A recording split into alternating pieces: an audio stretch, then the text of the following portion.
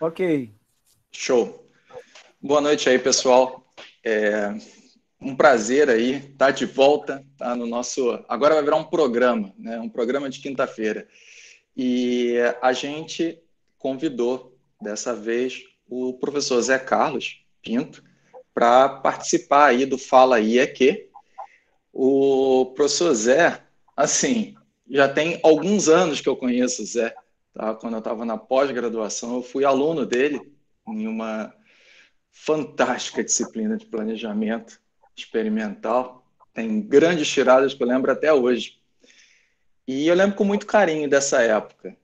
E com o tempo, é, o Zé ele foi ampliando os horizontes, ele foi, é, na minha visão, né, ele passou de um professor para um é, influenciador, um cara que coloca uns argumentos que muitas vezes são difíceis até de rebater.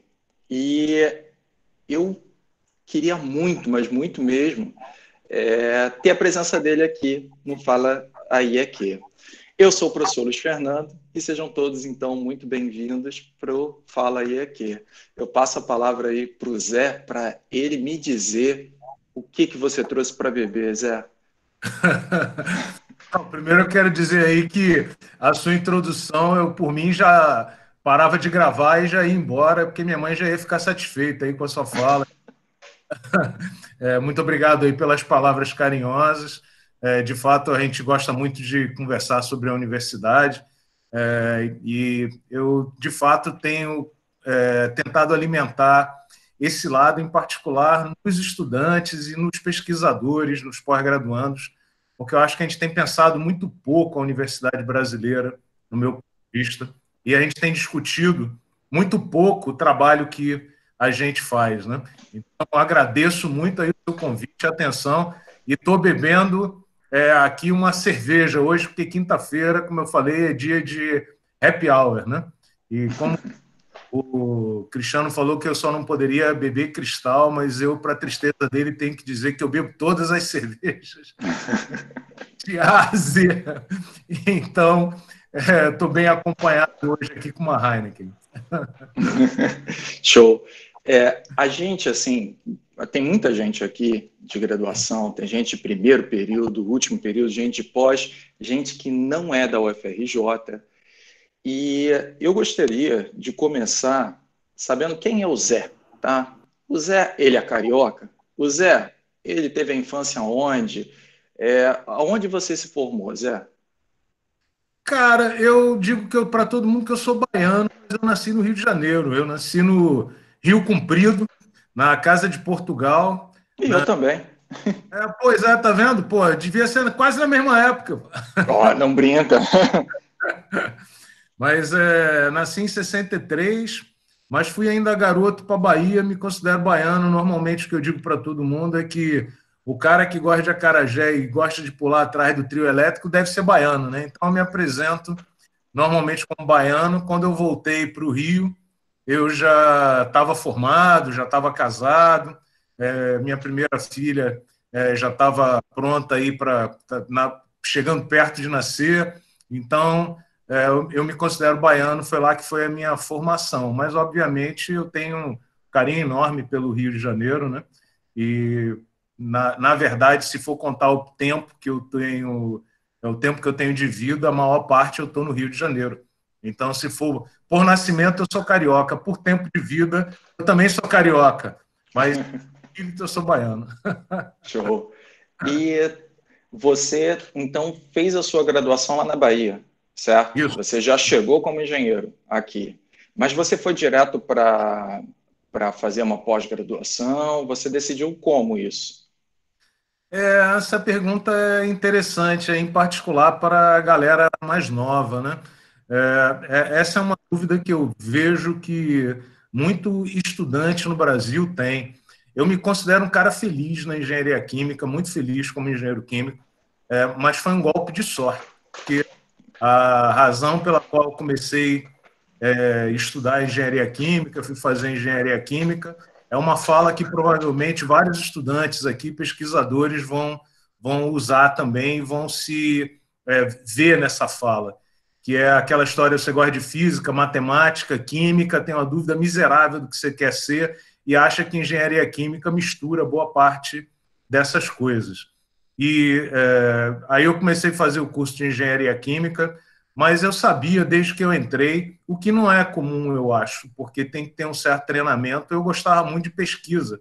É, e eu, desde muito cedo na graduação, eu sabia que eu queria fazer pós-graduação, mas não é o normal, né? Por isso que eu, é, inclusive, dou um valor enorme a esses programas de iniciação científica e de descoberta é, da paixão pela pesquisa. É, Para mim foi muito fácil decidir e fazer a pós-graduação e vir para o Rio de Janeiro me envolver com a pesquisa.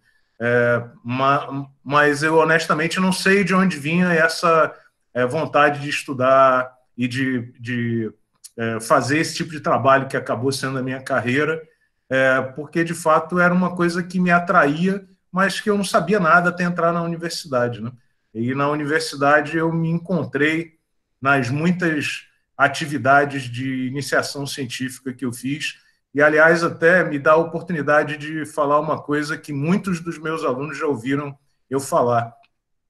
É, na Bahia, na época que eu estava lá, e, e, certamente vários colegas que se formaram comigo vão ter uma, um relato muito parecido. A gente vivia muito a universidade, né? A gente chegava na universidade é, às sete horas da manhã, saía da universidade é, a última aula seis e sete, os cursos eram muito espalhados, os horários vazios a gente passava no laboratório, passava no diretório acadêmico, no DCE, fazia monitoria e muitas vezes acabava as aulas e ia para o bar da frente, o Peteca, tomar cerveja no bar da frente da Escola Politécnica, é, lá na, na, Universidade Federal da Bahia. Então, é, boa parte dos colegas da minha geração, eles são simplesmente apaixonados e curtiram muito a universidade. Eu, quando ouço é, uma pessoa jovem dizer que está passando pela universidade, quer ir embora logo, é, não vê a hora de pegar o diploma, terminar logo isso, de uma certa maneira eu fico com pena, assim, porque a minha experiência na universidade foi de pertencimento, foi de é, muita satisfação, e eu acho que boa parte dos meus colegas que estavam comigo na, na Bahia é, sentiam a mesma coisa. É, eu sempre que posso, estimulo os estudantes, em particular de graduação, a ficarem mais na universidade. O fundão, às vezes, não convida muito, né? É, muita, muitas vezes é, é um lugar um pouco afastado, na Bahia era no centro da cidade, né? Às vezes as pessoas se sentem um pouco longe, mas essa sensação de pertencimento, eu acho que ajuda muito a decisão de fazer a pós-graduação. Acho que é mais ou menos esse conjunto aí, mas eu, de uma certa forma, sabia que queria seguir a minha vida profissional por esse caminho. É, foi um pouco parecido comigo também. Eu tive essa experiência. É, na verdade, foi eu só descobri mesmo depois que eu cheguei no ciclo profissional, né? E aí no ciclo profissional que eu efetivamente vi, né, o que que era e aí eu decidi fazer pesquisa. E é impressionante porque eu fiz a pós-graduação, mas eu não tinha noção se eu ia querer ser professor. Você já tinha essa ideia? Você já estava pensando, pô, não, eu realmente quero a docência? É, porque existe esse, é, é, esse conflito, né? O pessoal, ah, não, pô, adoro pesquisa, mas a docência nem é tanto. Como é que é contigo? Como é que você se sente nesse sentido? Ó, para ser muito sincero com você, alguns colegas vão ficar tristes comigo agora, mas é, eu sempre me senti muito mais pesquisador do que, do que professor. Né? É, eu, eu sempre é, digo que eu não seria infeliz trabalhando no instituto de pesquisa, é, dedicando a minha vida e meu dia a dia ao trabalho de pesquisa. Ainda bem que a universidade é, moderna, atual no Brasil, ela, tá, ela não compreende a atividade de ensino de formação sem a pesquisa. Mas eu acho que eu sempre desejei muito mais ser pesquisador do que exatamente ser professor. O meu sonho não era estar em sala de aula, era estar no laboratório, era estar desenvolvendo esse tipo de atividade. O que não quer dizer que eu não sinta prazer de dar aula e estar com os alunos. Muito pelo contrário, tenho um prazer enorme de estar com os alunos, é, de dar aula, de discutir é, coisas novas. Mas eu, por exemplo, é, nunca seria um professor como o professor Massarani, por exemplo, Júlio Massarani. Né? É, Para mim, o Júlio Massarani é, era a, o ícone, assim, o exemplo de docente, um cara que queria ser de fato professor. Né? Eu me lembro que quando Massarani é, faleceu, é, por alguma razão que eu não me lembro agora qual foi, eu tive alguma missão de organizar é, a, a, os escritos do Massarani na sala que ele tinha deixado lá na COP. Né? E eu fiquei impressionado, porque o Massarani ele tinha todas as notas de aula de todos os cursos que ele deu, organizados em toda a longa carreira dele de, de docente. Né? Isso dá uma medida da dedicação né, e da paixão que ele tinha pela atividade de docência, né, de, de é, organizar cada curso com um carinho enorme, de cada curso virar um livro especialmente diferente e começar sempre do zero de novo. É, eu não sei se eu tenho essa paixão né, para é, pela docência nesse ponto, né, de ter que organizar o material sempre e de novo e novamente, mais uma vez, né? É, embora eu adore estar em sala de aula, mas digamos que de uma maneira um pouco mais pragmática, né? Talvez eu goste muito mais da comunicação que, estabele, que é estabelecida com os alunos em sala de aula, do que exatamente estar tá preocupado com a preparação do material. E é por isso que eu digo que eu provavelmente sou mais pesquisador do que docente, apesar da docência me agradar muito na prática como parte da atividade de pesquisa. Eu lembro da sala cheia, era bastante gente, era bem divertida, era bem legal. É, como tem muita gente aqui que não conhece o lado da sua pesquisa, tem muita gente nova aqui, conta um pouco qual é a pesquisa que você está fazendo, quais são os temas que você está trabalhando. Pô, beleza. É, momento propaganda do Engepol, a Larissa agradece aí a, a oportunidade. A Larissa é a gerente lá do, do Engepol, né? É, a gente se dedica, tem quase mais de 30 anos, a, a processos de polimerização de maneira geral. E eu acho que eu dei muita sorte de escolher essa área para trabalhar, porque é, eu me lembro quando eu comecei é, o meu mestrado, né? É, durante o período de graduação, eu fiz iniciação científica no estudo de química, é, umas duas no departamento de engenharia química, colaborei com o estudo de física, porque, como eu falei para você, eu vivia na universidade, eu e boa parte é, do, dos meus colegas na época. É, mas eu não tinha assim com clareza o que eu queria fazer e talvez isso justificasse estar tá indo de um lado para o outro e tal. É, quando eu comecei o mestrado na COP, é, eu fui muito influenciado por um projeto que eu participei, cujo chefe era exatamente o Fernando Pellegrini, que vai falar aqui na, no AIEQ na terça-feira. Né? O Fernando, eu sempre brinco com ele que, para quem é mais velho, vai lembrar, o Fernando, na época, participava de um projeto na Bahia, é, e na, na, a turma gostava tanto do Fernando que a gente teve uma disputa, uma eleição para saber quem ia ser o nosso paraninfo, e o Fernando ganhou uma eleição na época do Aureliano Chaves. O Aureliano Chaves, na época, os mais novos não sabem disso, mas na época, o Aureliano Chaves, eu não me lembro se ele era vice-presidente do Brasil ou se ele era o ministro da, das Minas e Energia. Mas ele tinha um cargo importantíssimo no governo federal. E o Fernando ganhou de lavada, porque a gente amava o Fernando. E o discurso de que alguém viria para a nossa formatura pagar a formatura não é, suplantava a, a, grande admiração que a gente tinha pelo Fernando Brasinha. E eu sempre digo por, por isso que o Fernando é muito mais velho do que eu. Falo para sacanear ele, para brincar, para brincar com ele. É, e eu adoro o Fernando. E o Fernando ele coordenava um projeto simulação na época na Bahia, junto com a Copene, que hoje é Braskem, na Central de Matérias Primas. É, e eu participei desse projeto, um dos colegas que participou é, desse projeto, que tinha um monte de gente que participava lá.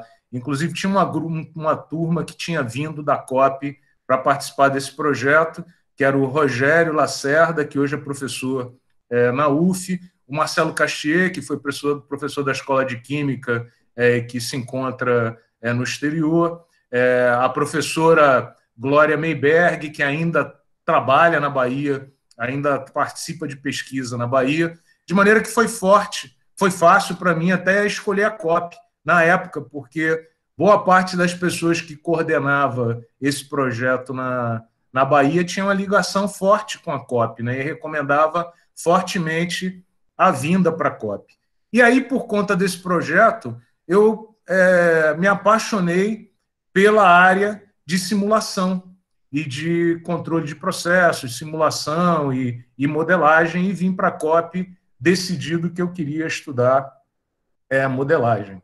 É, e durante, quando eu comecei o mestrado, eu percebia, em algum momento, é, cada um tem uma característica, e essa é uma coisa até muito legal que os pós-graduandos e os estudantes que eventualmente é, tiverem ouvindo essa conversa, é, eles reflitam sobre suas características particulares, porque cada um é sempre muito diferente do outro, né?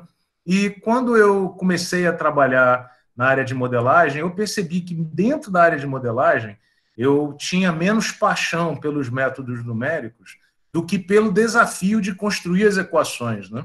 Eu tinha muito interesse de montar as equações, eu queria desenvolver os modelos, né? mais do que desenvolver as técnicas numéricas para resolver as equações.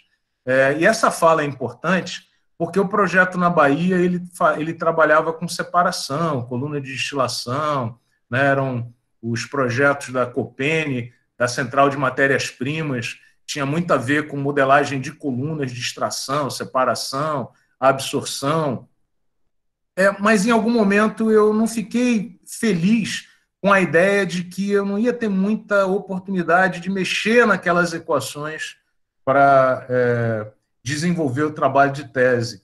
E aí eu comecei a procurar é, oportunidades em outras áreas, na época mais marginais, assim, que não faziam muito uso de modelos matemáticos, para encontrar a oportunidade de fazer aquela modelagem que eu queria mais, que era de construir as equações, os, os modelos, os balanços.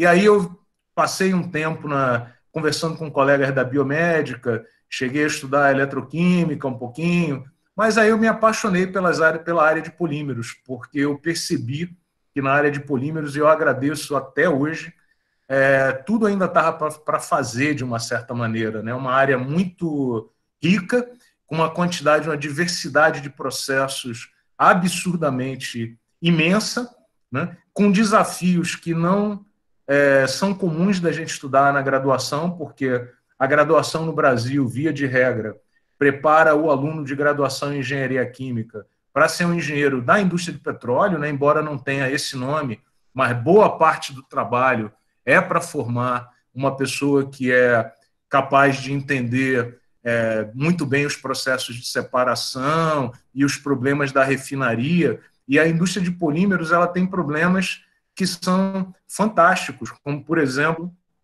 um produto como polietileno. É, a gente não disse nada ainda sobre ele. Quando a gente fala que produziu propano, você sabe o que é. Tem massa molar definida, propriedades definidas. Quando você fala polietileno, você não falou nada ainda, porque a arquitetura molecular varia, se ele tem ramificação, se ele não tem, se ele é uma mistura. Então, o pessoal da indústria de polímeros vende qualidade, ele vende desempenho, ele não vende pureza. A indústria, a refinaria, a indústria química convencional, ela vende pureza. E a indústria de materiais, ela vende desempenho, o que dá origem a um montão de problema diferente, um montão de problema legal. E na área de polímeros, você tem problema de fluidodinâmica, problema de termodinâmica, é, problema de cinética, todas as dificuldades, todas as soluções mais complicadas para um determinado material parece que está na área de polímeros. E aí, resultado, você tem um mundo para brincar com as equações, era aí que eu queria chegar, né?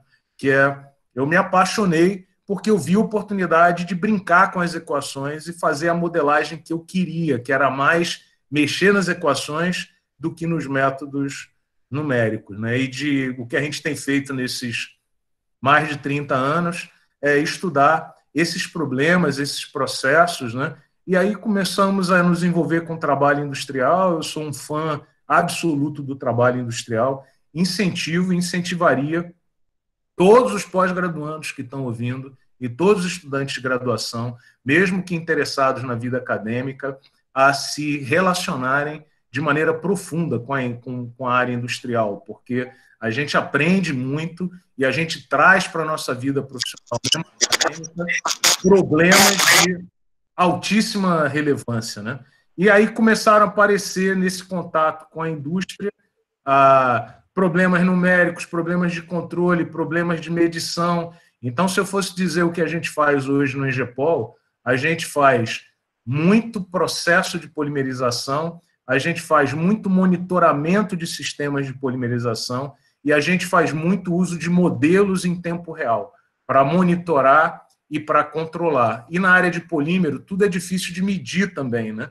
Na, na refinaria, as técnicas elas são mais simples filosoficamente. Na área de polímeros, até medir uma temperatura é difícil, porque o polímero incrusta no termopar, gera atraso. Como você tem uma pobreza muito grande de medição na área de polímero, isso é que é a coisa bacana. Você acaba encontrando muitas oportunidades para usar os modelos, como sensores virtuais, para medição, para fazer inferência, para aplicação. Enfim, é, é, mais ou menos isso que a gente anda fazendo no nosso grupo é, e procurando sempre levar essas técnicas para o ambiente industrial.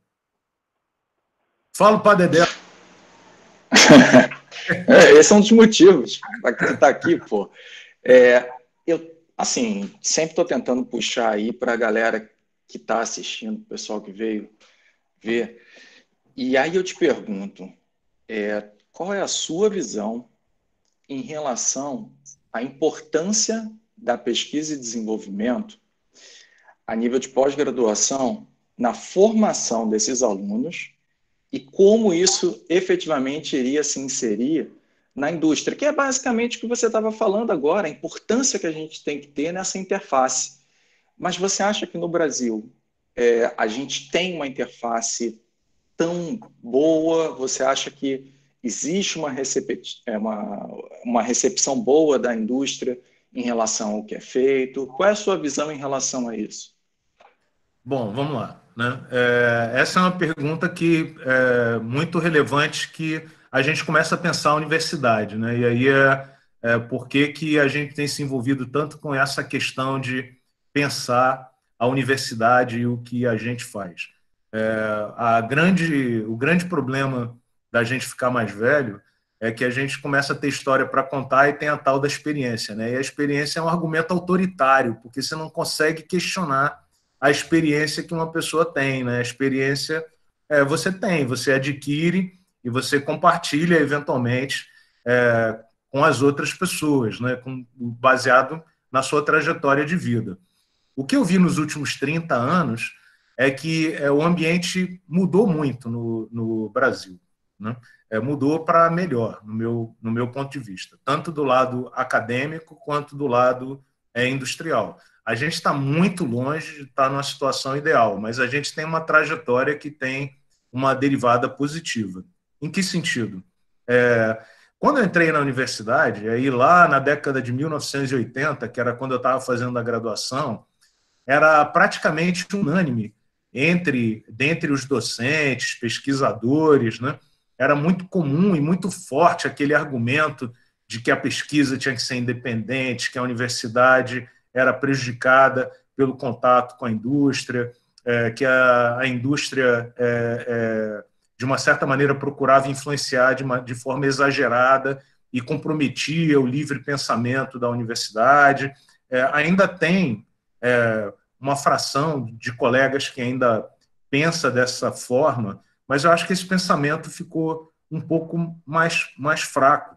Né? É, e eu confesso que eu não compartilho desse ponto de vista, como engenheiro, porque, como engenheiro, eu vejo que a grande fonte de informação e de problemas para o engenheiro é exatamente o ambiente de produção, porque é, quando eu ouço é, alguns colegas valorizarem ou desvalorizarem a área de produção, eu acho complicado, porque a nossa profissão é de engenharia. Né? É, e engenharia, se a gente estiver infeliz com essa condição, ela trata de fazer as coisas acontecerem e de produzir diferentes produtos de diferentes naturezas, seja uma casa, seja um equipamento, seja um processo.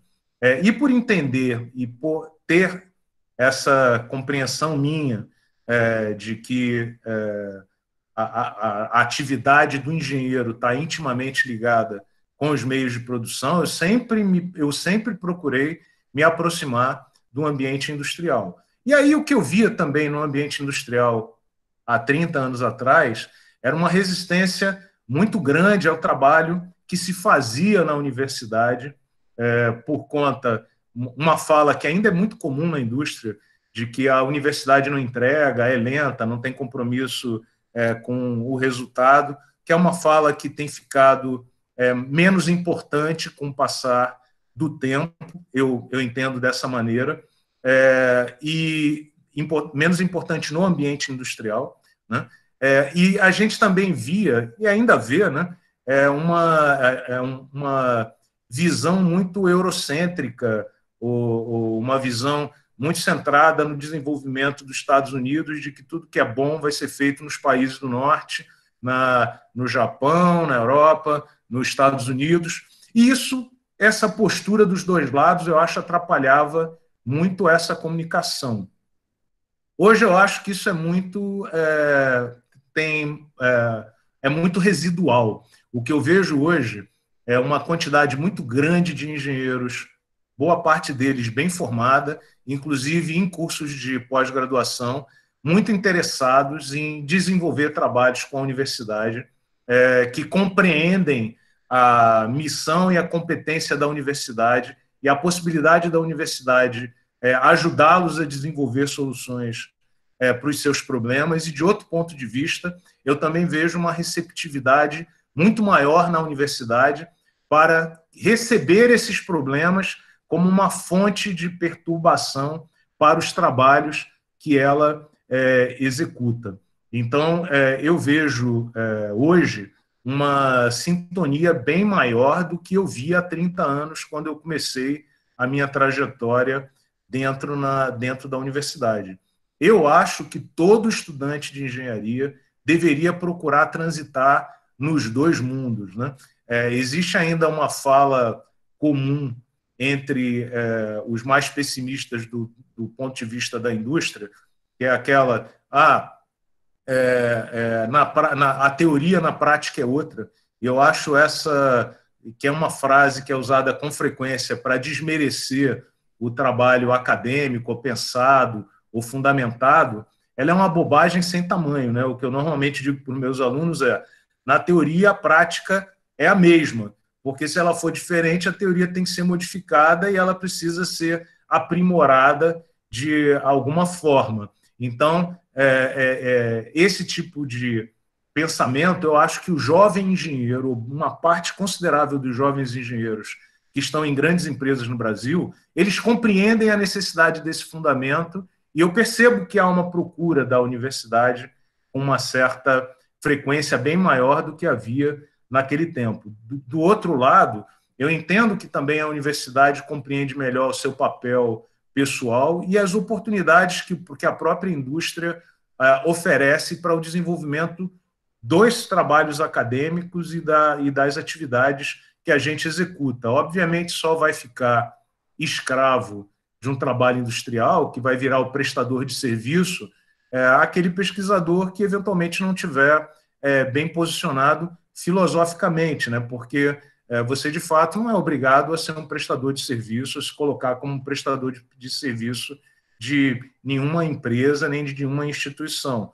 Eu colaboro com as empresas desde sempre e não acho que a minha carreira ficou menos rica ou aprisionada ou foi ditada pelos relacionamentos industriais. Muito pelo contrário, Eu acho que os relacionamentos industriais vieram como consequência do trabalho executado de pesquisa no laboratório é, e, e, e, na COP né, e, na, e na UFRJ é, de maneira mais ampla. Então, eu acho que esse relacionamento é fundamental para qualquer engenheiro. Mas eu entendo que é uma questão polêmica e eu também não quero dizer que é, a gente está no melhor dos mundos hoje. Não. Eu acho que, percentualmente, uma fração pequena ainda das empresas investe no, na, na, pesquisa no Brasil. A, a, boa parte dos recursos vem de grandes empresas ou de empresas inovadoras, é, mas uma parcela considerável das empresas não tem o costume de investir em inovação. Não é à toa que o Brasil ocupa sempre as piores posições nos rankings de inovação, qualquer um que se faça. A gente tem muito que avançar nessa, nessa área mas eu entendo que há uma derivada positiva e há uma boa vontade de compreensão dos dois lados. E eu entendo também que há uma motivação dos jovens engenheiros, talvez por estarem vivendo uma universidade que faz mais pesquisa e que desenvolve mais trabalho de pesquisa e que oferece mais oportunidades nessa área, a compreensão de que ele pode procurar oportunidades para resolver os seus problemas é, profissionais em colaboração com, a, com, com as instâncias acadêmicas.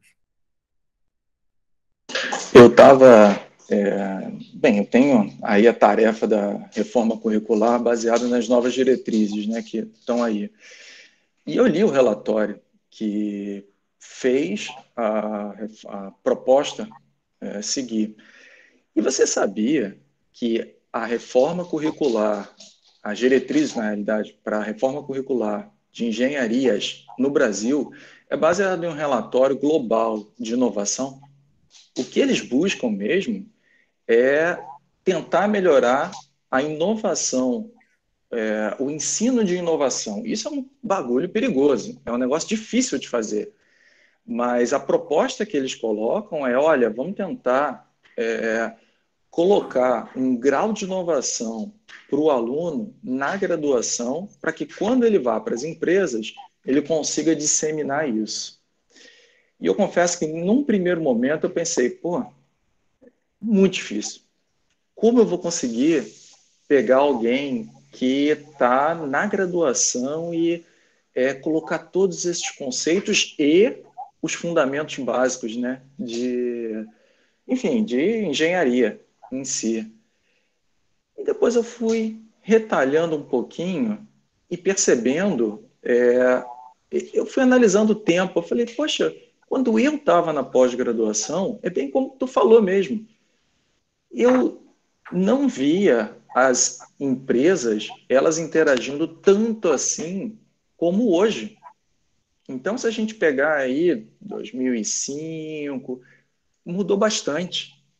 E aí eu comecei a pensar, poxa, talvez isso daí seja pelo menos um princípio de mudança de paradigma, né? E as empresas talvez elas estejam um pouquinho mais abertas aí para é, receber, né, novas ideias, mudar, porque é aquele negócio. Quando você tem um processo que está na sua zona de conforto, né? Todo mundo fala, pô, não, você tem que sair da tua zona de conforto. Pô, às vezes num processo industrial você não vai querer sair da tua zona de conforto. É um negócio que funciona, então não adianta. Mas foi boa a tua reflexão. Eu tinha é, pensado de uma maneira, é, num caminho parecido.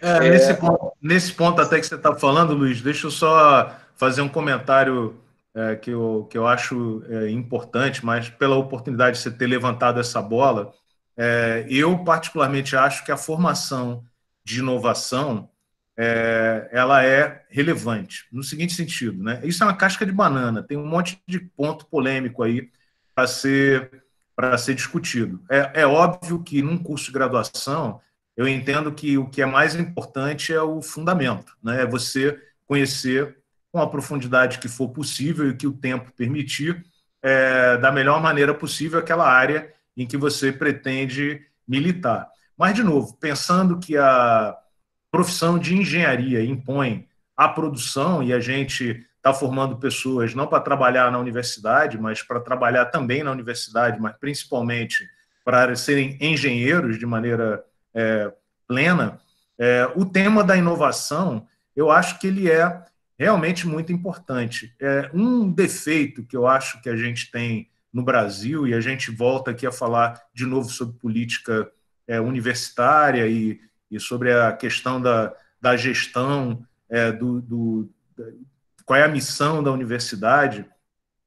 Eu entendo que a maioria absoluta dos cursos de graduação no país, independentemente da área, né, talvez com exceção de algumas áreas, como na área de direito e nas áreas é, onde é, classicamente os profissionais atuam é, por conta própria, através de escritórios e tudo mais, mas na, em boa parte, ou na maioria das áreas, o graduando ele é treinado para ele ser é, empregado de, alguma, de algum tipo de empreendimento. Né? É, e eu acho que em várias áreas o aluno tem, ou graduando, ou formando, o, o graduado, né, ele tem outras oportunidades. Né? Na área de engenharia, por exemplo, é, as oportunidades que o graduado tem para atuar de conta própria, seja é, como engenheiro, ou seja, usando os conhecimentos de engenharia, mesmo que não atuando como engenheiro diretamente, são imensas. E ainda falta, eu acho, é, treinamento, ou pelo menos é, é, oportunidade, para que o estudante de graduação e o pós-graduando vejam na atividade empreendedora como uma possibilidade de é, desenvolvimento das carreiras que eles vão construir. É, então, esse é um aspecto. Eu acho que a universidade é, deveria é, mostrar esse caminho para esses estudantes de graduação de maneira mais ampla, como uma trajetória possível de ser é, traçada. E mesmo atuando como empregado de grandes corporações, como, por exemplo, um engenheiro da Petrobras, um engenheiro da Braskem, é, engenheiro da Arlanxio. É, esse, essa, é, é esse engenheiro certamente será convidado e terá oportunidades, muitas vezes, para atuar de forma empreendedora, porque, afinal de contas, é, as empresas, em particular na área tecnológica, elas precisam se renovar com altíssima velocidade. Uma das características que a nossa profissão tem, né, ou que o meio tecnológico tem, é que é, a gente sabe a velocidade do desenvolvimento tecnológico e a explosão é imensa. É uma empresa ou um negócio que para no tempo e não evolui, ele está fadado a, a, ser, a desaparecer em relativamente pouco tempo, com raríssimas exceções. Portanto, mesmo que o engenheiro trabalhe como empregado de uma corporação, ele será muito provavelmente estimulado a atuar de maneira empreendedora e inovadora todo o tempo, encontrando novos produtos, novos meios de produção, novas aplicações. Então, eu acho que a universidade também deve falar e também deve apontar esse caminho para os alunos é, de, de graduação. Não acho que todo mundo tem que ser empreendedor, como também não acho que todo mundo tem que ser docente, como também não acho que todo mundo tem que ser pesquisador, nem engenheiro de processo. Cada um vai escolher o seu caminho, mas eu acho que é missão da universidade mostrar as diferentes trajetórias que esse profissional é, pode ter. Eu não acho que a gente faz isso ainda de maneira competente. Quando eu falo a gente, eu não estou falando a UFRJ, nem a Escola de Química, nem a COP. Eu estou falando agente meio universitário brasileiro. Né? as ações é, empreendedoras, elas são muitas vezes é, olhadas assim e vistas até de forma um pouco caricata, né? como se fosse um trabalho cuja missão tem que ser executada pelas incubadoras. E como eu tive a oportunidade é, de ser é, diretor do Parque Tecnológico um tempo, eu tive a oportunidade de ver muito esse trabalho com uma certa é, proximidade e a, a, universidade ainda não vibra no mesmo diapasão desses, desses movimentos. Né? É, um, um dos números que mais me surpreendeu na época que eu estava no Parque Tecnológico era que a UFRJ, é, em algum momento, né, na verdade, quando eu digo a UFRJ, é, os, os, os alunos da UFRJ, de maneira espontânea e estimulados pela Pró-Reitoria de Extensão, eles fizeram um trabalho é, para identificar as iniciativas empreendedoras dos alunos da UFRJ dentro da UFRJ. E, e eu nunca. É, é, um número que me chamou muita atenção, porque os alunos identificaram mais de mil iniciativas empreendedoras dentro da UFRJ. E, repare, eu estou falando de iniciativas, eu não estou falando é, empreendedores. Algumas iniciativas, como Empresa Júnior, abriga, abrigam dezenas de alunos trabalhando é, nesses ambientes. De alguma forma, esse movimento empreendedor, que, portanto, é uma necessidade dos alunos, ele passa um pouco desapercebido, ou ele passa é, quase que meio escondido na universidade. A gente não vê essa vibração. Então, como a gente não vê, nós não conseguimos potencializar e, ao mesmo tempo, nós não conseguimos mostrar a possibilidade dessa trajetória para outros que eventualmente pudessem encontrar nesse tipo de atividade é, um, um estímulo né, para construir a sua carreira profissional. Eu acho esse tema muito legal, muito interessante. Né? Então, eu tenho a convicção que, em particular nas áreas tecnológicas, todos os cursos deveriam, de alguma maneira, abordar esse tema para e apresentar esse caminho para, para os estudantes. É, o som não estou ouvindo agora, Luiz.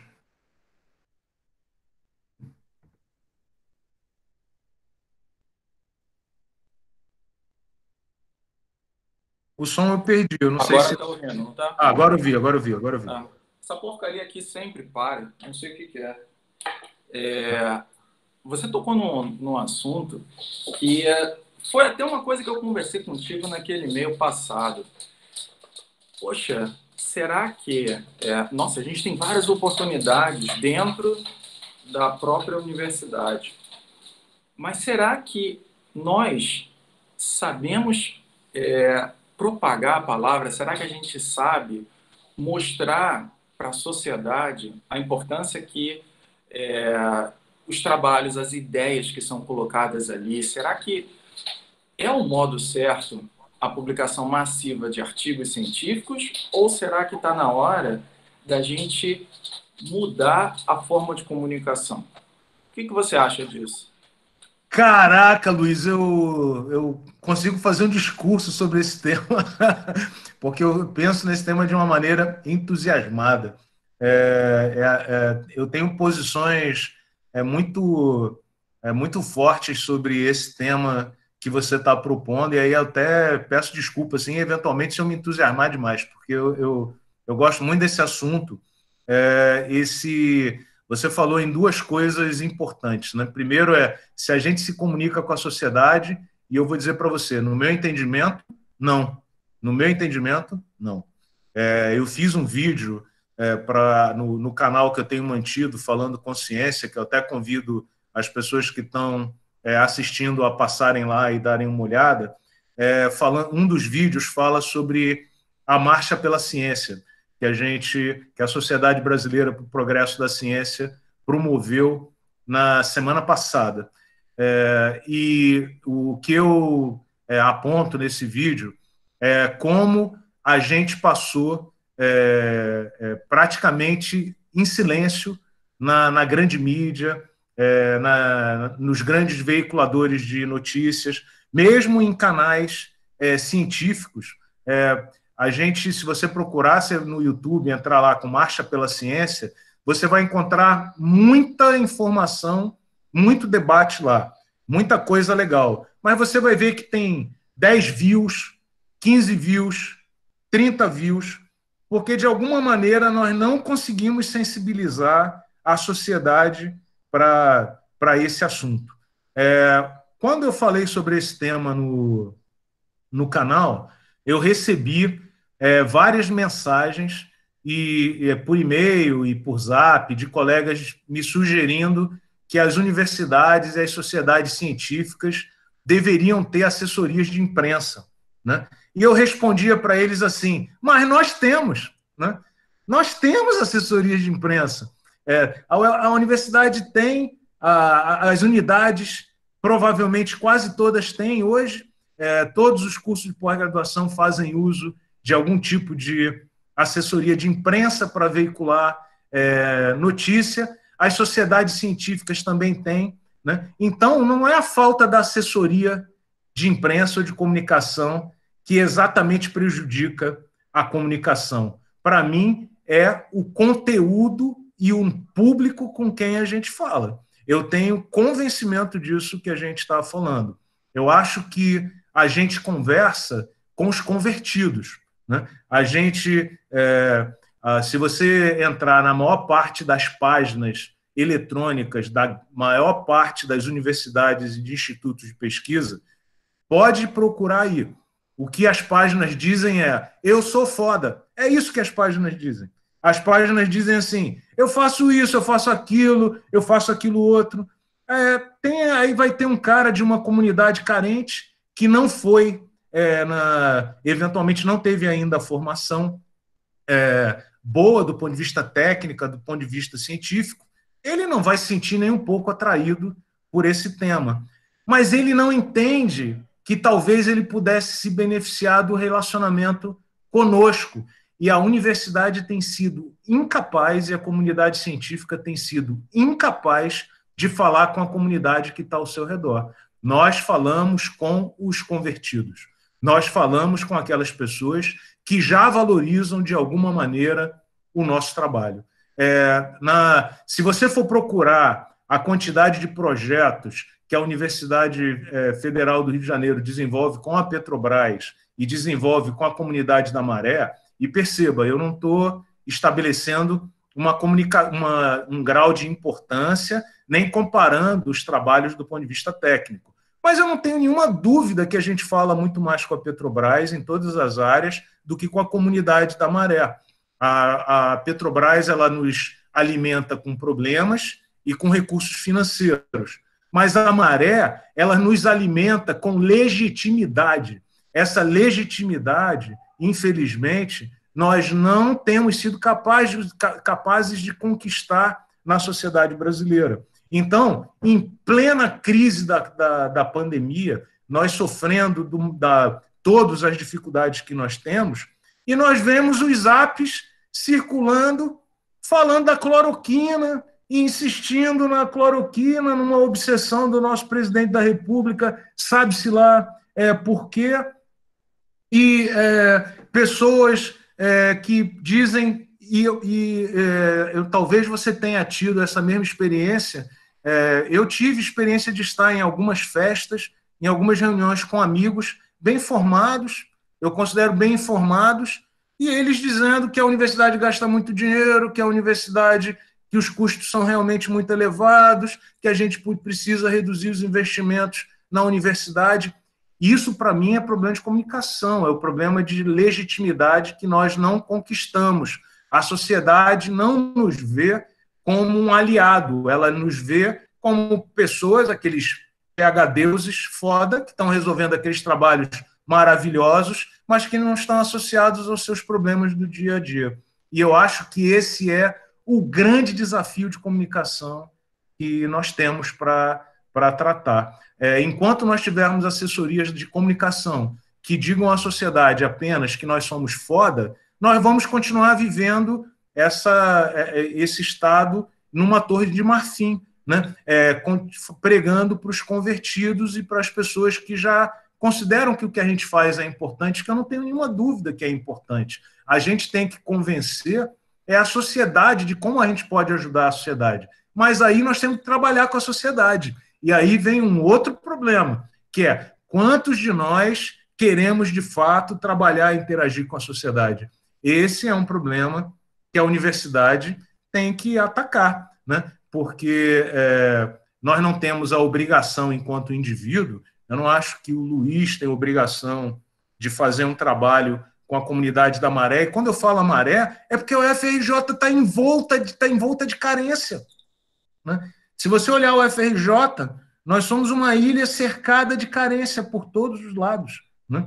É, se a gente não olha para essa comunidade, a gente não interage, ela não, não nos acha importante, sendo vizinhos, nós não vamos ter nunca legitimidade que é da sociedade nos defender, nos achar que somos importantes, que tem que investir mais em pesquisa, mais em educação.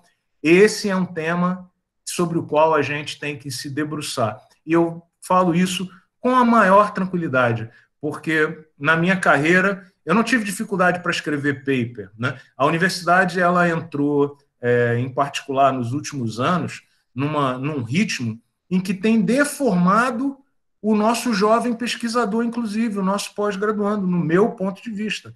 É, tem um monte de pós-graduando hoje que está fazendo trabalho e ele acha que a missão dele é escrever paper. A missão dele não é escrever paper, o paper é uma consequência do trabalho que ele executa. Ele não é o objetivo, ele é uma externalidade, eventualmente. Ele é uma missão que a gente tem que executar de uma determinada forma. Mas a gente tem absurdos hoje, como, por exemplo, o cara não pode defender a tese de doutorado se ele não tiver é, com dois papers publicados. Eu acho isso. Eu sei que eu não estou na mainstream, eu sei que eu sou voz minoritária nesse ponto, mas eu acho isso um absurdo, porque o objetivo é a pesquisa, é a tese. Né? O, o, o paper é a consequência daquele trabalho, eventualmente. E, de novo, eu falo com tranquilidade, porque eu estou caminhando para quase 500 papers. Meu problema não é escrever paper. Então, eu não sou contra o cara escrever paper. O que eu sou contra é o paper ser o objeto do trabalho dele. O objetivo do trabalho é a pesquisa. A, a avaliação do trabalho não é o paper. Eu, eu já escrevi muito paper que talvez eu não goste muito, não considere muito legal. Não é porque o cara escreveu um artigo que ele está preparado para ser um doutor. Eu vejo algumas regras na universidade que, por exemplo, o cara vai defender a tese de doutorado. Ah, junta aí três papers e já tem a tese. Como assim? Uma tese, o nome está dizendo, é uma ideia que tem começo, meio e fim. Não são três papers. Eu escrevi um, um, um paper sobre análise de rutênio em soluções de não sei o quê, um outro eu escrevi é, sobre o uso de ivermectina para redução do, do tratamento de, de, pulgas, o outro eu escrevi um outro paper falando sobre uso, de, degradação de polímero é, no ambiente, é, é, no meio ambiente, e aí eu vou defender uma tese, isso não é uma tese, isso não tem história que tem começo, meio e fim. Eu não estou resolvendo nenhum problema que eu estou ajudando, não estou comunicando a solução de um problema ou contribuindo com o avanço do conhecimento de uma forma organizada. E é, eu acho que esses dois temas, o da comunicação e o do paper, têm tudo a ver, porque a, o, o, pesquisador hoje é, ele acha que ele cumpriu o seu papel enquanto pesquisador quando ele escreve paper, quando a missão dele, na minha maneira de ver, é interagir com a sociedade. O paper ele vai falar com os caras que são iguais a ele, é importante, mas ele não vai conquistar legitimidade. Ele pode conquistar, no máximo, celebridade. Ele pode ser um cara muito conhecido, de onde ele for, ele vai bater palma, vai bater no ombro dele, que legal, aqueles caras sabem pra caramba. É a maneira dele se tornar uma celebridade naquele meio que ele milita, mas não de ele legitimar a atividade dele na sociedade. Então, esse tema é um tema que realmente eu acho merece muita reflexão. Com toda honestidade, Luiz, eu, José Carlos Pinto, se dependesse de mim, eu detonava a plataforma Sucupira. Para mim, aquilo é um absurdo. É um monte de continha que o cara faz lá para avaliar. Eu sei, de novo, que eu estou num lado minoritário. Eu sei que esse não é o mainstream hoje na universidade. Mas a avaliação do nosso trabalho não pode ser uma conta. Ela tem que ser alguma coisa muito mais profunda que avalia a maneira como a gente conversa com toda a sociedade. E hoje a universidade conversa mal, na minha, no meu ponto de vista, com a sociedade. Eu falei para você que eu ia falar de forma entusiasmada, então perdão aí. Não, isso é bom. É, uma das coisas que é, eu vi, na verdade eu percebi, né? Posso estar um pouco errado, mas um momento em que a sociedade ela parou para prestar um pouco de atenção mais não foi pelo motivo mais nobre, mas foi por um deboche. Foi quando teve o hashtag balbúrdia. E aí, com o hashtag balbúrdia, parece que é, é, indivíduos, tá? os próprios pesquisadores, eles começaram a a soltar nas redes sociais. Não, olha, a universidade faz isso, olha, a universidade faz aquilo. É, e eu lembro do, de quando isso aconteceu, eu andar na rua e na padaria. O pessoal está conversando, pô, você sabia que a universidade está fazendo isso? Então, é, isso foi uma coisa interessante, mas o motivo foi errado. Porque tudo partiu de um deboche. E está acontecendo agora de novo. Porque com um dos tópicos, né, um dos principais tópicos aqui é, dessa conversa é o estado de pandemia. Né? E você já puxou o assunto, assim como você puxou mais um, que eu ia falar sobre o Falando Consciência. Então, antes de falar sobre pandemia, eu gostaria de entender qual foi a tua motivação? O que te levou? E assim, ó, pessoal, pessoal que está vendo aí, é, vai no YouTube, pode procurar o Falando Consciência. É, tem algumas opiniões ali. Tá? É, se você quer ver o Zé Carlos enfesado, em alguns vídeos ele vai estar. Tá? Então, vai lá que tem alguns assuntos bem legais. E o que, que te motivou, então, a criar esse canal? É, então, uh, para falar é, bem honesto, bem honestamente com você, é, eu, eu acho, como eu falei já na, na, fala anterior, que a gente se comunica mal com a, com a, com a sociedade é, e acho que a gente se comunica mal dentro da nossa própria comunidade com as pessoas com as quais a gente forma. É, quando a gente fala de comunicação científica, como eu estava é, falando com você, eu vejo muita comunicação do tipo: é, ah, entenda o que é o buraco negro, ou então, é, pô, vamos falar como as estrelas nascem e morrem, que são comunicações importantes, né? Elas comunicam conhecimentos num linguajar é, é, acessível para as pessoas que não são especialistas é, naquela área, e eu entendo que a rede, a internet, o ambiente de publicação está cheio dessas iniciativas. Né? Mesmo antes é, da internet, é, muitas revistas, como a Galileu, né, a própria SBPC, publicava a Ciência Hoje, a Super Interessante, sempre trilharam esse caminho e eu sempre gostei é, dessas revistas, mas eu acho que essa missão está sendo bem executada pelos jornalistas e pelos colegas aí da comunicação eu acho que falta uma comunicação, é, em particular com o jovem pesquisador, sobre a natureza do trabalho que a gente faz e sobre uma reflexão sobre o mundo em que a gente vive. Então, a minha motivação para falar no canal Falando Consciência é quase como se fosse um, fossem, não é isso, mas é como se fossem relatos, matérias jornalísticas, que me perdoem os jornalistas, né? né mas pequenas crônicas do, da nossa vida, do mundo em que a gente vive, além de procurar é, é, descrever e algumas coisas que estão acontecendo nesse momento e que são relevantes para a comunidade científica, mas que não são exatamente conhecimento científico. Então, o que eu quero falar lá no canal é a importância da CAPES do CNPq, das portarias que eles estão fazendo, como é o relacionamento do aluno com o, com o seu orientador, do, do pesquisador com o seu orientador. Eu tenho uma lista enorme que eu tenho recebido de sugestões sobre, por exemplo, a importância dos projetos, do relacionamento com as empresas, o que é uma tese, sobre a natureza do trabalho de tese. Por incrível que pareça, nós fazemos pouca reflexão sobre esse assunto. É lógico que algum colega vai dizer: não, mas a gente discute isso, não, tem a disciplina de é, metodologia científica ou não. No laboratório a gente conversa sobre isso. Nós não temos canais onde as pessoas possam discutir esses temas de forma mais ampla. E é essa a motivação é, que, é, que eu tenho. Né? É, eu, eu acho que eu vou ficar muito contente se o canal se transformar ou conseguir é, é, juntar uma comunidade razoável de pessoas discutindo e pensando o dia a dia do trabalho que a gente faz e a natureza do trabalho que a gente faz, não necessariamente documentando os achados ou os avanços que a gente está fazendo no laboratório, porque eu entendo que isso tem, existem várias iniciativas é, rolando é, nesse assunto. Né? Então, é, eu entendo que essa é a minha motivação principal. E tenho ficado assim muito contente de receber assim feedback é, de, de várias pessoas de diferentes lugares do Brasil, né, é, emitindo opinião. Então, até deixo um abraço aqui para o Marcelo Lenze, se ele tiver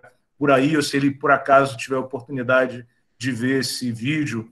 É, Marcelo sempre me, ele é professor na Universidade Federal do Paraná, sempre tem me mandado sugestões e a gente sempre tem conversado em Zap sobre oportunidades de temas, né?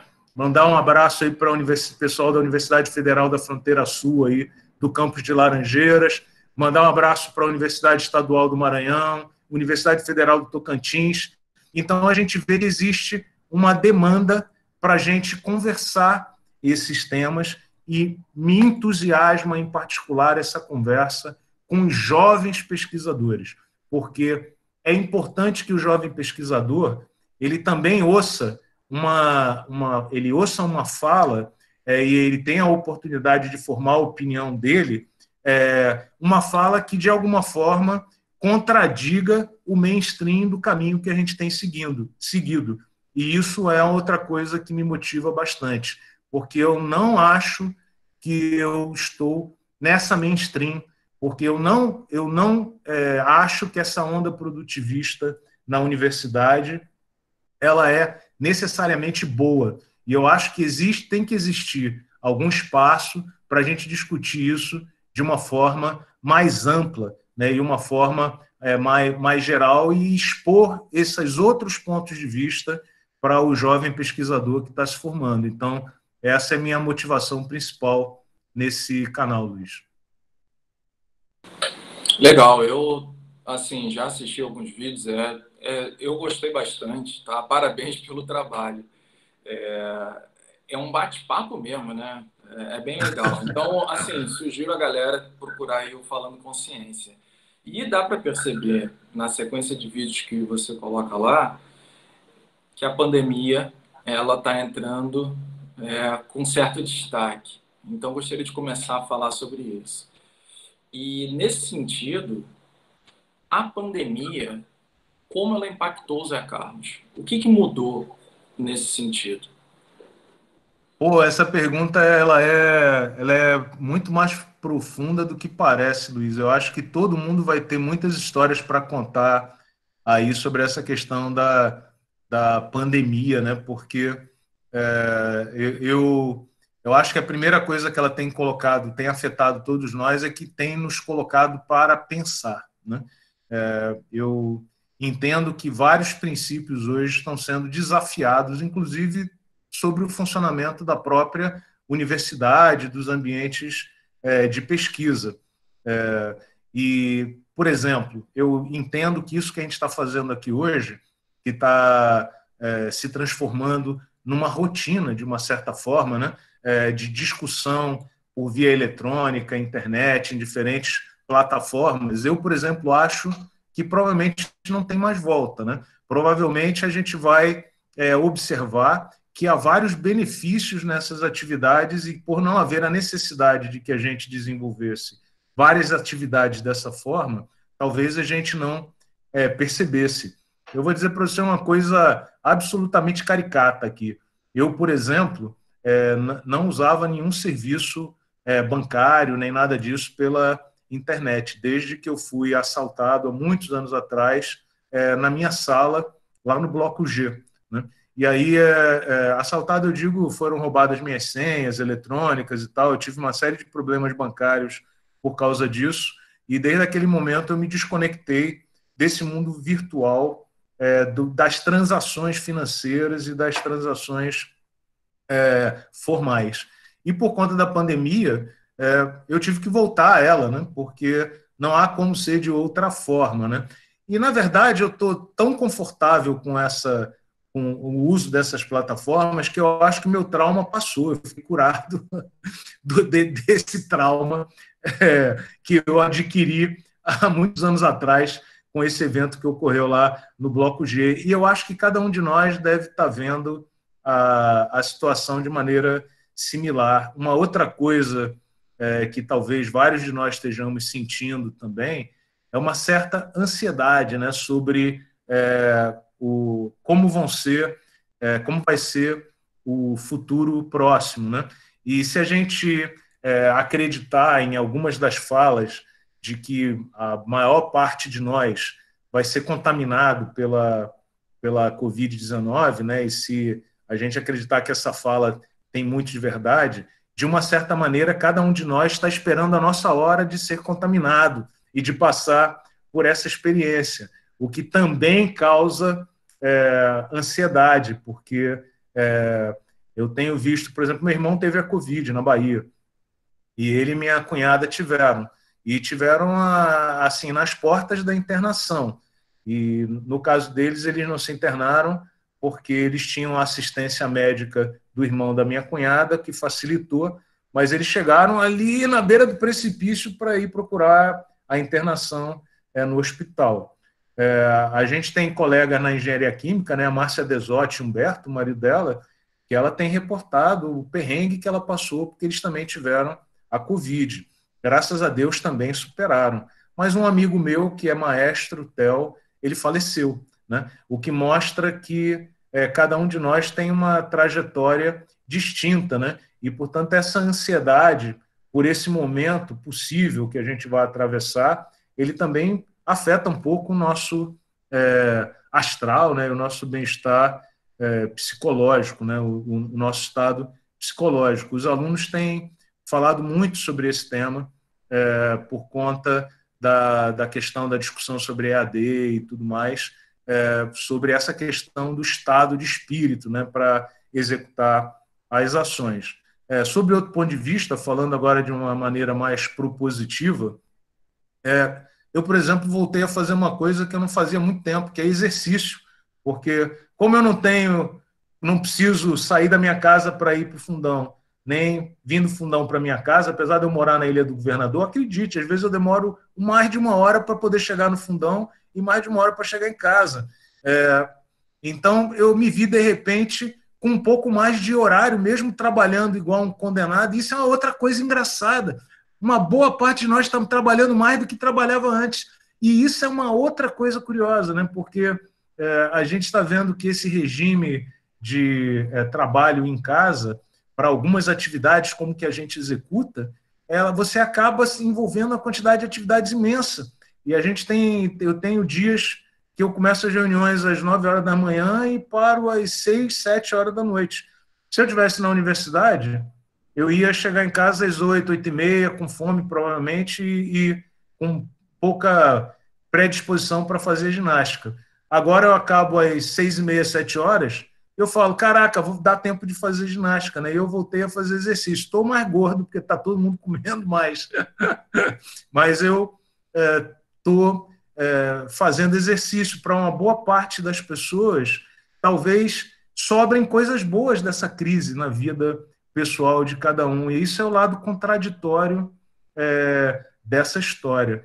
É, mas o que mais tem me impressionado mesmo na crise da pandemia, e voltando à mesma fala a gente estava fazendo antes, é que é impressionante a, o nível de ignorância de boa parte da população brasileira é, sobre a importância do conhecimento científico e das soluções e da, do tratamento embasado. É, é, é para mim é absolutamente impressionante ver uma parcela significativa da população brasileira é, ignorando e, e, e minimizando a importância do conhecimento para tomar decisões. Né? E aí, repare que eu não estou aqui de, de, defendendo nenhum ponto de vista, mas qualquer que seja o ponto de vista, ele tem que se basear em conceitos, em conhecimento, em perspectivas, e a gente vê pessoas achando que é, as coisas se resolvem problemas graves se resolvem com voluntarismo e achismo. É o que a gente vê. E a gente vê milhões de pessoas seguindo posturas malucas do nosso presidente da República. E de, veja que não, minha discussão não é política, nem tem nada a ver com uma posição, é, é, nesse momento, partidária, nada disso. Mas é que quando um cara chega e fala assim, tem que usar cloroquina, e um monte de gente na, no zap e na internet e segue falando isso como se fosse uma obsessão, uma religião. O que mostra é uma péssima formação científica, é a incapacidade de compreender que decisões precisam ser pautadas em conhecimento. E aí a gente volta ao problema original. E para o Brasil, esse momento está oferecendo isso de forma absolutamente clara e gritante. Não vê quem não quer. Nós temos um problema gravíssimo de compreensão da importância do conhecimento. E aí o ciclo se fecha, né? E a gente volta àquela questão da comunicação que a universidade precisa fazer é, com a sociedade. Isso, para mim, é muito impressionante. É, esse, esse tópico aí, assim, eu sei que as minhas chefias estão aí, né? A Fabiana e o Mac. Eu não falei para eles, mas a partir disso que a gente conversou, eu fiquei me perguntando, poxa, eu acho que a gente está fazendo errado e eu acho que eu não sou a pessoa ideal para tentar conversar. Talvez eu precise me formar um pouco mais. E aí eu já estava começando a procurar é, o pessoal de comunicação da própria FRJ, o pessoal de jornalismo, para trocar uma ideia, para eu começar a entender como é comunicação em massa, para tentar ver se a gente consegue atingir uma parcela que hoje é, a gente não está atendendo tão bem. Né? E é, esse é um processo aí que veio essa semana, vamos ver o que, que vai dar, mas eu concordo contigo, poxa. E, de fato, um motivador né, de ter criado, na verdade, tudo isso aqui, todas essas palestras que a gente está fazendo, todas essas, é, o Fala aí aqui, ele vem com base na preocupação da saúde mental. Poxa, a, o isolamento é diferente, sabe? Isolamento social é diferente de distanciamento social. E o que a gente não quer é ter o isolamento. O distanciamento é físico e ele precisa ter. Então, é, nesse sentido, a gente decidiu não ter mais esse, é, deixar os alunos isolados. Então, a gente está criando esse esforço aí. É, você falou um negócio, eu queria a tua opinião sobre isso. E a educação à distância? Cara, é um tema que está sendo debatido, é um tema que volta e meia vem. É, o que, que você acha? É, como você acha que a gente deveria é, se portar em relação a isso? Tu tem, é, de repente, uma diretriz? Pô, o que, que é melhor? O que, que é pior? Você já chegou a pensar sobre esse assunto? Ó, eu tenho pensado muito sobre esse tema, é, porque eu tenho é, mantido assim, uma proximidade muito grande com alguns é, pós-graduandos e discutindo esse tema que tem mobilizado muito a UFRJ e tem suscitado muita, é, muita discussão. É, eu não sou, obviamente, contra a educação à distância de forma alguma, onde ela for é, cabível e, e, pertinente. Né? Então, é, não vejo nenhum problema nesse tema. Eu só acho que a educação à distância ela tem que ser é, planejada, né? e ela tem que ser organizada, tem que ter é, é, tem que ser é, baseada num programa didático, pedagógico, para a formação das pessoas. Eu vejo é, uma discussão um pouco é, é, superficial sobre esse tema, com muita frequência, entre os colegas e nos diferentes meios, como se você gravar é, meia dúzia de posts e disponibilizar no YouTube garantisse a educação à distância. É, eu acho que não é isso. Né? Você, como é que você vai garantir o aprendizado? Como é que você vai é, garantir a participação, a eficiência e, principalmente, um ponto que eu acho muito relevante para nós na universidade pública, né? que é a inclusão. É, eu vejo muitos colegas minimizando esse tema. Eu não acho que é um problema pouco relevante. As nossas bolsas de mestrado Hoje, elas são um salário mínimo, gente. É isso que é a bolsa de mestrado. A bolsa de doutorado são dois salários mínimos. É isso o que é a bolsa de mestrado. É, você imaginar que um pós-graduando tenha dificuldades de ordem financeira para subsistir é o normal, né? porque é, se eles estiverem dedicados integralmente às atividades de pesquisa, eles vão ter dificuldades e vão enfrentar dificuldades financeiras, porque, afinal de contas, recebem valores pequenos como, como bolsa.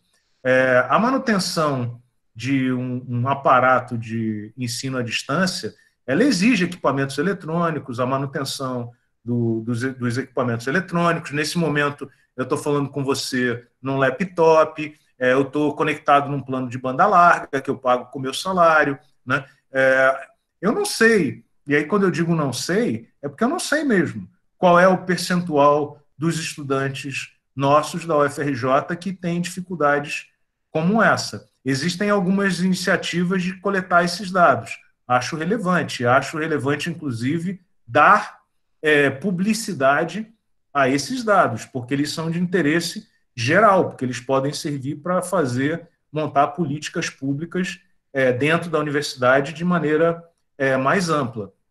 Agora, o que eu disse numa reunião de, de programa, a, a, coisa de uma semana atrás, e que aí você me dá a oportunidade de falar aqui para um monte de gente, é que essa questão da inclusão ela é uma questão vital para a universidade pública, no meu ponto de vista.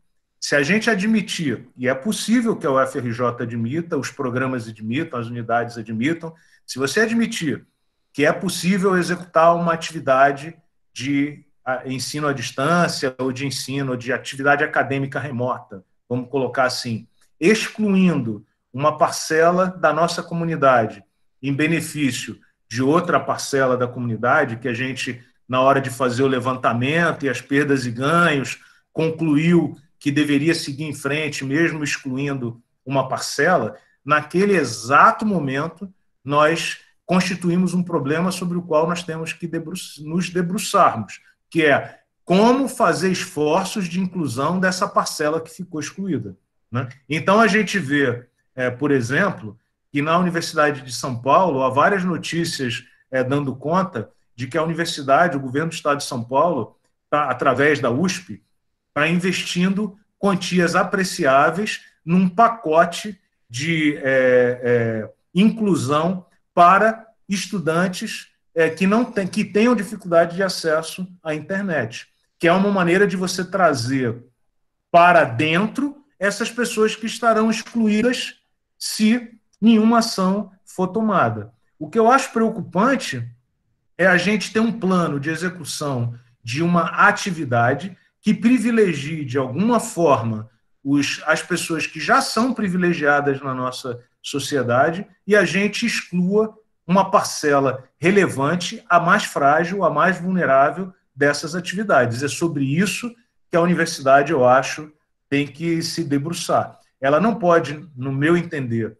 propor um programa à distância que exclua. Ela tem que fazer um programa que inclua, entendendo que há pessoas que têm problemas econômicos, problemas familiares, problemas de saúde, problemas de acessibilidade, porque é, convivem com algum tipo de deficiência física e que precisa ser superada nessa atividade de inclusão. A universidade ela tem obrigação de pensar sobre isso tudo. O que me incomoda um pouco é que eu não vejo a universidade discutindo todos esses aspectos. Eu vejo a universidade preocupada em não interromper as suas atividades. E é lógico que a gente tem que estar preocupado com isso, mas a gente tem que estar preocupado com mais do que isso. Nós temos que manter as atividades e incluindo todo mundo. Quando a gente fala sobre pós-graduação em particular, é, esse problema ainda ganha uma outra dimensão, porque enquanto na graduação o aluno passa boa parte do tempo em sala de aula e com atividade de treinamento, é, na pós-graduação, todos os pesquisadores passam a maior parte do tempo fora da sala de aula. Né? Eles passam tempo no laboratório. E aí aparece uma segunda contradição: é que a gente fazer todo o foco, concentrar todos os nossos esforços no ensino remoto, é, sem discutir a atividade mais importante para essa comunidade, que é a atividade de pesquisa no laboratório.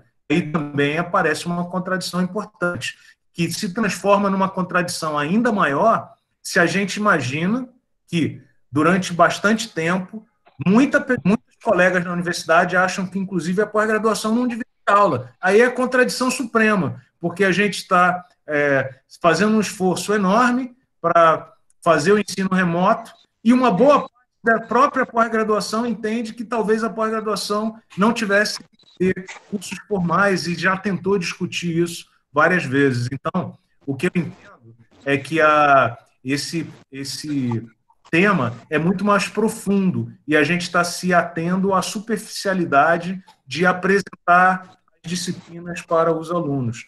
É, talvez essa atividade que você esteja promovendo aqui, Luiz, que a Escola de Química esteja promovendo aqui, ela seja muito mais útil para comunidade acadêmica e rica, inclusive como formação, do que meia dúzia de seminário que a gente coloca disponível no YouTube. Não sei, né? Talvez muito mais gente acha, ache que isso é mais interessante. Enfim, eu acho que tem muita coisa para a gente pensar relacionado a esse tema do ensino remoto. Eu gostaria de dizer só mais uma, que é a, a gente resistir à tentação oportunista de a universidade pública é, passar a oferecer, em particular, pós-graduação à distância.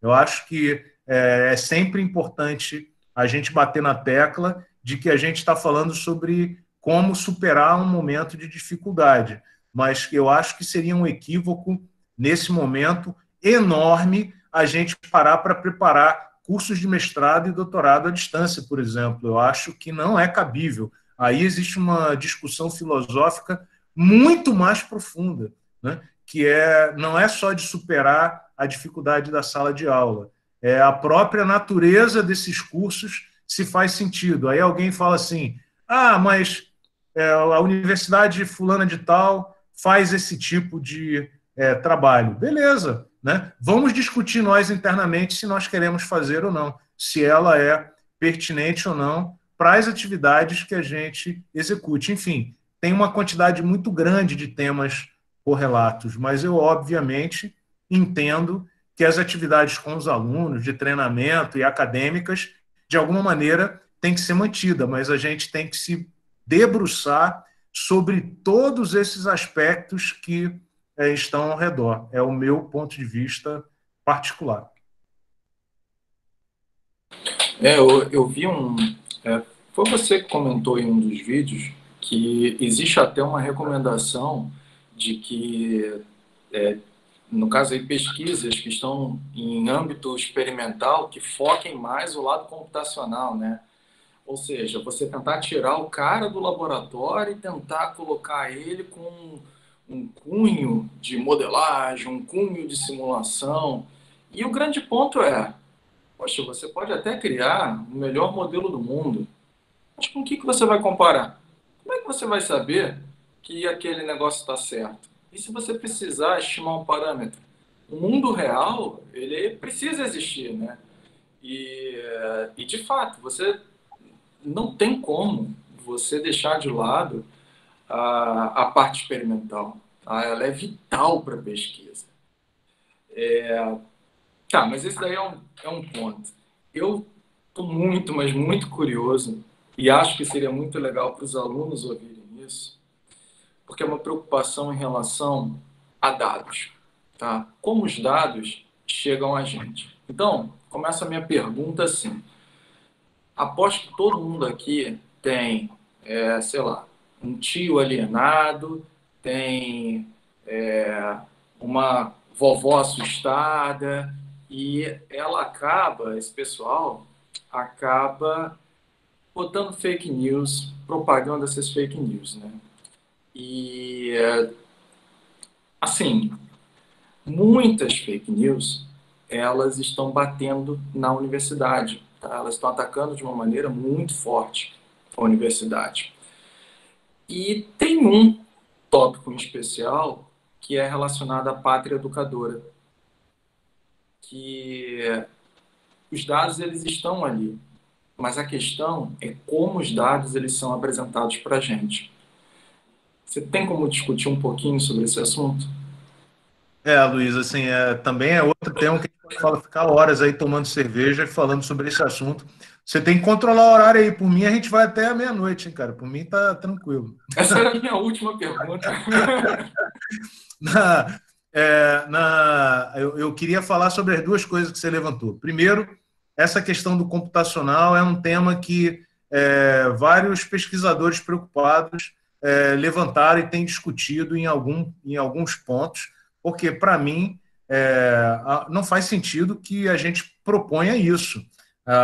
O que a gente tem que propor é que como que a gente pode reativar as atividades do laboratório e como é que você vai é, impor, por exemplo, a um pesquisador que está no último ano é, da sua trajetória de doutorado, falou assim: ó, agora, sabe aquilo que você está fazendo? Esquece tudo e vai para o computador. Não, não faz o menor sentido uma, uma coisa dessa. Também não faz o menor sentido que você se torne monotemático e mande todo mundo para o computador, porque você vai é, destruir a riqueza da universidade. E eu fico muito tranquilo de falar isso, porque a gente desenvolve vários trabalhos de pesquisa na área computacional. Mas é óbvio que o momento valoriza muito o que é mundo real, né? Então, é, é, num dos vídeos lá que você citou, eu chego a dizer que é, mais do que nunca a gente vê a necessidade de ter medicamentos, vacinas, materiais para fazer, para desenvolver novos é, equipamentos de proteção individual, é, enfim, é, técnicas hospitalares, equipamentos, enfim. É, é, a gente precisa do mundo real. Então, a universidade não pode encontrar uma solução em que ela mande todo mundo para o computador. Né? O computador vai, vai continuar sendo importante sempre, a gente vive num mundo, é, no mundo digital, mas é, a, a nossa verdadeira missão é encontrar alternativas para desenvolver e continuar desenvolvendo os trabalhos é, nos laboratórios e fazer com que os laboratórios vivam. Esse é um tema sobre o qual a universidade tem que se debruçar. É, e esse problema é, da, das fake news né, e dos dados, como é, você coloca, né, é, é, muito. Nós vivemos a era das fake news, né, e tem agora, é, de novo, até se junta aí com a discussão sobre a questão digital, que é a, a a deepfake, né, que você, você consegue colocar o rosto do Luiz, do Zé, falando coisas que o Luiz e o Zé nunca falaram, e distribuir isso pela internet e divulgar de uma maneira profunda, criando uma realidade que não existe para divulgar a própria é, mentira. Né? É, esse é um problema hoje tão grave que eu acho que todo pesquisador e todo cidadão, nem um pesquisador, todo cidadão Toda vez que eu vi uma mentira deslavada, ele tem que retrucar. Eu sei que isso é cansativo, eu sei que isso é chato, né? mas você tem que retrucar. Porque, é, senão, aquela, como a, a, aquela, aquele, aquelas pessoas, eventualmente, que talvez não estejam tão preparadas para perceber aquela mentira como é, eventualmente você está, de uma maneira que para você soa óbvia, é, você tem essa missão de, trans, é, de dar a oportunidade àquela pessoa de formar uma outra opinião e de não se ver escravizada pelo dado é, equivocado. É, eu confesso que nos grupos que eu participo eu tenho sido muito chato, porque toda vez que eu vejo uma é, mentira deslavada, e repare que para mim mentira deslavada não é opinião, opinião é uma coisa, mentira é outra. Né? É, uma pessoa pode ter uma opinião diferente da sua, e você respeita, discute tudo mais. Mas uma mentira, a terra é plana. Isso é uma mentira. Então, toda vez que você receber alguma coisa que não seja brincadeira, mas num grupo sério, um cara dizendo que aquilo é, é, é uma verdade, você tem que dizer que aquilo é uma mentira. É, existe, inclusive, filosofia e procedimento atrás disso. Quando você citou ao Pátria Educadora, né? É, eu me dei ao trabalho, e aí eu acho que muita gente vai ficar triste comigo, mas eu me dei ao trabalho de ver e ler várias coisas sobre o, o Olavo de Carvalho, por exemplo, né? É, para compreender a filosofia dele e o que ele fala. É óbvio que ele é um embuste, né? Ele fala um monte de coisa, ele tem uma aquele aquele é, é, vídeo da Pátria Educadora fala mentiras atrás de mentiras. Mas se você for ler o Olavo de Carvalho, você vai ver que isso é uma estratégia, é um método de, de dominação. É, Propõe-se o uso da mentira, do ataque pessoal, como estratégia de dominação e de conquistar as almas. Nós temos que fazer o contraponto, nós não podemos ser escravizados por essas é, atuações dessa, é, é, dessa maneira. Né? Então, hoje, a, a, fake news e os dados mentirosos, e veiculam-se muitos dados mentirosos sobre a universidade, porque eu não tenho nenhuma dúvida de que é, hoje o Ministério da Educação ele não trabalha pela grandeza das universidades e do ensino público é, brasileiro. Ele tem um outro, uma outra pauta, uma outra, tem outros interesses é, eventualmente. E é uma vergonha que o nosso ministro da Educação apareça nesses filmes do Pátria Educadora, contando mentiras sobre a universidade, falando, usando é, índices de é, citação como se fossem medidas de impacto e de importância das universidades brasileiras. Isso significa que a gente está no melhor dos mundos? Não, não significa que a gente está no melhor dos mundos. Mas a gente não pode deixar sem retrucar aquelas falas, a gente tem que retrucar. Então, esse é um tema hoje que eu entendo que é de cidadania. Eu acho que nós temos que atuar como chatos. Toda vez que a gente ouvir uma mentira, a gente tem que dizer é mentira e apresentar a, a referência do lado. E é isso que a gente tem que fazer. E dizer, ó, você está enganado, isso que você está é, circulando, veiculando, está equivocado. Por exemplo, uma grande amiga minha circulou na internet mostrando: olha, estão enterrando caixões vazios em Manaus. Ela ficou chateada, porque a gente circulou. Olha, sinto muito, é mentira. Isso não é verdade. Está ali, é óbvio que aquela mentira está circulando com um propósito. Qual é o propósito? Fazer valer um ponto de vista. Não existe, a gente não vive um tempo em que as mentiras são inocentes. As mentiras elas servem a um propósito. Portanto, questionar e contestar as mentiras que a gente sabe que são mentiras é uma questão de cidadania, é participar do debate e é não deixar as pessoas que, que é, talvez não estejam numa posição tão privilegiada quanto a gente num tema particular se deixarem escravizar por uma mentira que a gente sabe que é mentira e a gente tem que contestar. Né? Esse pátria educador é uma vergonha. Né? E é mais vergonhoso é a gente ver pro, pro colegas nossos da universidade participando. E eu volto a dizer, eu não estou tratando de opinião. Opinião, todo mundo tem direito de ter a sua, a sua visão de mundo, não é isso. Mas quando você usa dados, deturpa de maneira mentirosa, ele tem ali o propósito de fazer um, valer um ponto de vista. É uma vergonha que o ministro participe de um vídeo como esse. Pessoal, vocês viram como é o Zé? É, ele trata desse assunto de uma maneira fantástica em um dos vídeos do canal dele. É, e era assim que eu queria encerrar mesmo, botando você aí num tema mais polêmico é, e agradecer bastante o convite, é, assim, você ter aceitado o convite. Tá? É, foi muito, muito legal, mas não terminou, porque, se, assim, nesse é um momento que eu pergunto se o pessoal quer participar. É hora de pegar cerveja, pode beber cerveja mesmo e ver aí. Eu vi que o, o Fernando entrou, o Pelegrino está aí. É, tem ex-aluno teu aí também. Acho que o Lenz estava lá embaixo também. Tá? Ah, foi? Então, acho que eles estão aí. Então, é, do Fala Aí aqui, eu queria te agradecer, tá? agradecer bastante a tua participação.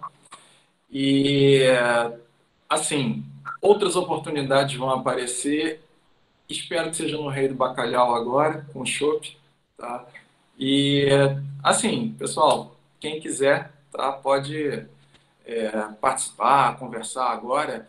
Eu só vou pedir o seguinte, se todo mundo começar a abrir o microfone, é, vai ficar um pouco complicado, tá? Então, a gente vai fazer por ordem, tá? De, do pessoal colocando para falar lá embaixo, tá? Eu não acompanhei o chat, então é, eu estava mais assim trocando ideia.